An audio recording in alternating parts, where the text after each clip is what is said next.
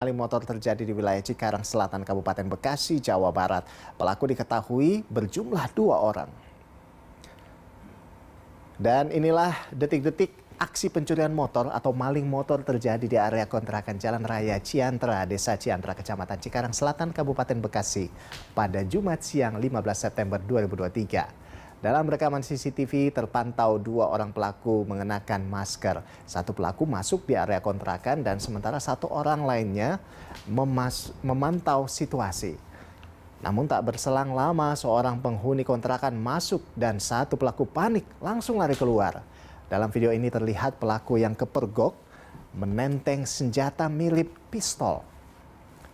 Penghuni kontrakan sempat mengejar namun kedua pelaku berhasil melarikan diri.